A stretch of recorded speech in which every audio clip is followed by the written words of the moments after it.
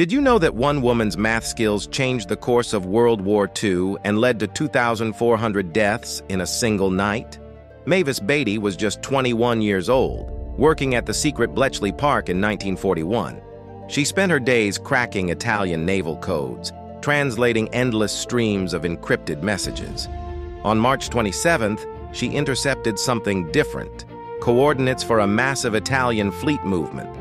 Allied convoys were sailing straight into a trap in the Mediterranean.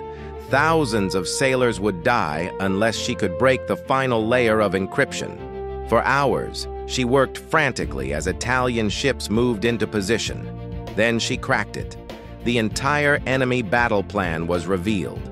The Royal Navy changed course and ambushed the Italians at Cape Matapan instead. The battle was a massacre. 2,400 Italian sailors died that night, all because of mathematical calculations made by a young woman in England. After the war, Mavis disappeared from public records. Her final assignments remain classified even today. Her deadly equation saved Allied lives but doomed thousands of others.